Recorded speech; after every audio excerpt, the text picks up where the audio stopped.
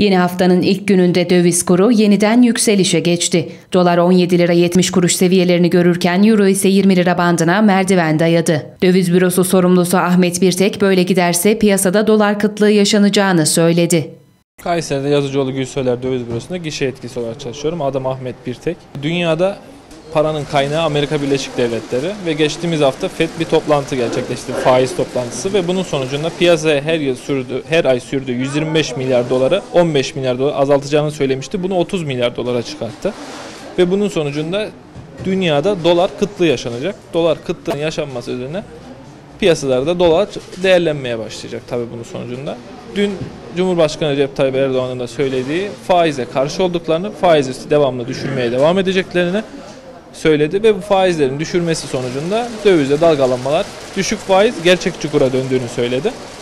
Piyasada buna tepki olarak tabii bir yükseliş gerçekleştiriyor. Şu an güncel olarak dolar 17.700'den, euro da 19.700'den işlem görüyor. Dediğim gibi Cumhurbaşkanı'nın söylediğine göre faizi düşürüp kuru dalgaya bırakıp gerçek çukur ve bir yerde dengeye geleceğini söyledi.